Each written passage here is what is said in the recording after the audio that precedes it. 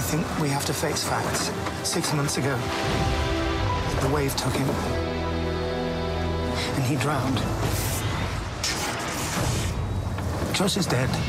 This is footage of Kimsta from Burma. Getting the aid there is an emergency. Stop the tape.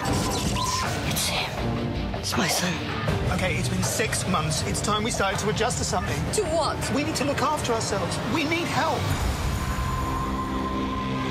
If you want to find your son, I fix it. Yeah, how much? One and a half million. So do you think it's possible that Josh could have been traded? People up in the islands are poor. They make do with the only capital they have.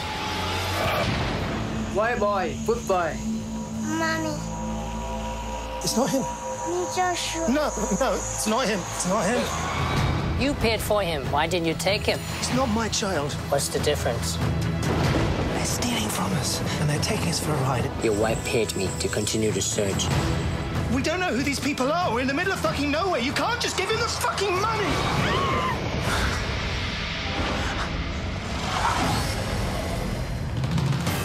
When someone dies a bad death, the spirit becomes confused. It becomes angry. It becomes winyan.